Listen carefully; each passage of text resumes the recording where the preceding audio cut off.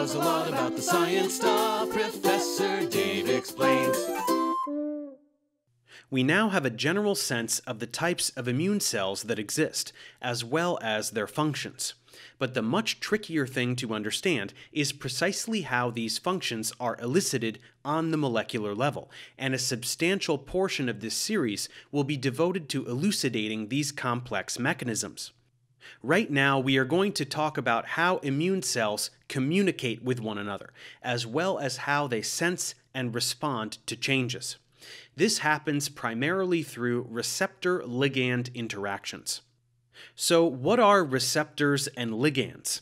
We answered this question in some detail in the biochemistry series, where we learned that receptors are special proteins which receive chemical signals in the form of small molecules that act as ligands, meaning that they interact with the active site of the receptor and elicit a conformational change in the receptor that triggers the propagation of that signal. To review the basics regarding receptor structure and function, check out that tutorial now. But if we are up to speed on what receptors are and what they do, let's learn about them in the context of immune activity. With immune cells, receptors are specifically found in the cell membrane. This means that immune cell receptors must have two domains. First, an extracellular domain that recognizes particles in the extracellular space. And second, an intracellular domain that translates recognition by a receptor into biochemical action within the cell. Most receptors are single transmembrane proteins whose domains span the intra and extracellular spaces. However, some receptors are protein complexes, with separate proteins teaming up to play the roles of extracellular sensing and intracellular signaling. So the question is how does a receptor sense changes in the extracellular environment? Once again, this is achieved by binding to molecules called ligands.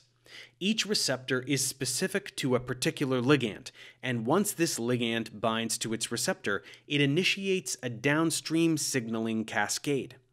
Depending on the receptor, a ligand can be a sugar, a lipid, another protein or peptide, or even a nucleic acid.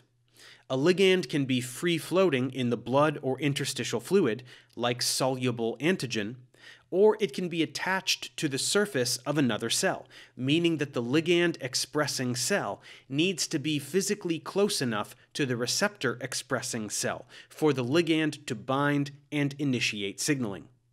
The important thing here is that generally receptor ligand pairings are extremely specific.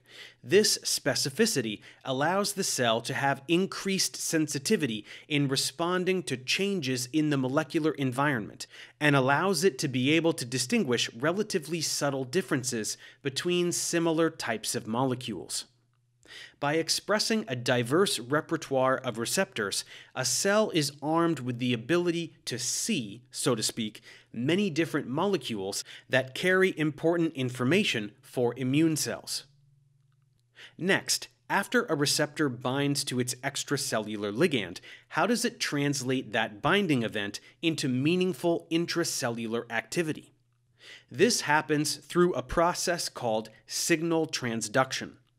The first step of signal transduction is to convert the extracellular binding event into intracellular biochemical cues.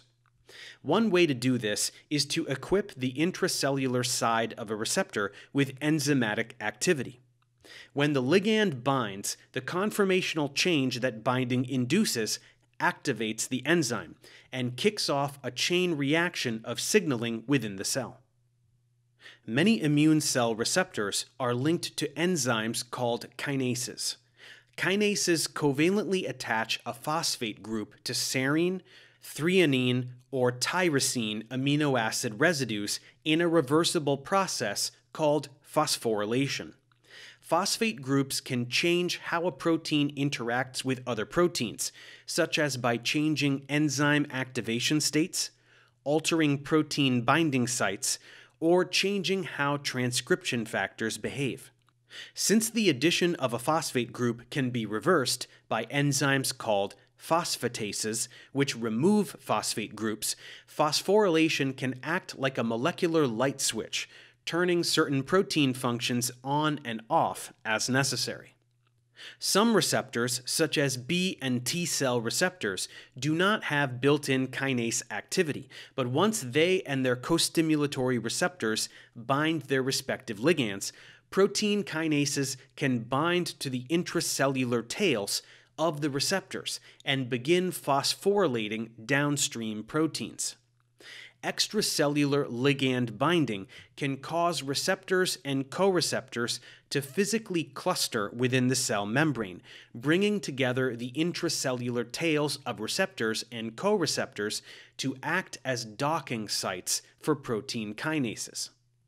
Activation of kinases is not the only way for receptor binding to initiate intracellular signaling cascades many receptors are coupled to large or small GTPases, which are enzymes that convert GTP, or guanosine triphosphate, into GDP, or guanosine diphosphate. These are just like ATP and ADP, which we are more familiar with, just with guanine instead of adenine as the nucleobase. When a G protein coupled receptor binds its ligand, a heterotrimeric complex of G proteins binds to the receptor, where heterotrimeric means comprised of three subunits, at least one of which differs from the other two. In its inactive state, the G protein heterotrimer is bound to GDP. However, when the G proteins bind the receptor, GDP is exchanged for GTP, causing the G protein to become activated as long as it is bound to GTP. The activated G protein subunits then activate multiple pathways throughout the cell, including motility, proliferation, and changes in gene transcription. Eventually, the GTPase converts GTP to GDP, rendering the enzyme inactive again. Small GTPases are monomeric rather than trimeric, but they function by similar principles as large GTPases. When the enzyme is bound to GDP, it is in its inactive state. Small G proteins are often anchored to the inner side of the cell membrane. When a receptor binds a ligand, adapter proteins localize to the cytoplasmic tail of the receptor, recruiting guanine nucleotide exchange factors, or GEFs, to swap out bound GDP for GTP, allowing the GTPase to become activated and launch a cell signaling cascade. RAS, RAC, and Rho are all common small GTPases that can have widespread cell signaling effects. So that covers some of the ways that the signal carried by the ligand can then propagate inside a cell. But what does this signal achieve exactly? What a cell ultimately does in response to receptor activation depends on many factors, such as levels of receptor expression and ligand concentration, as well as which particular combination of receptors were activated and in what order. The end of a signaling cascade can lead to a huge range of possible outcomes, including protein modifications like phosphorylation, transcription and translation of new proteins, changes in cell adhesion and motility, phagocytosis, antigen presentation, proliferation, apoptosis, survival, and release of cytotoxic or microbicidal proteins. We will learn more about these outcomes where appropriate as we progress through the series. For now, let's continue examining immune cell receptors by looking at the types of receptors that can be present. Thanks for watching. Subscribe to my channel for more tutorials. Support me on Patreon so I can keep making content. And as always, feel free to email me, ProfessorDaveExplains at gmail.com.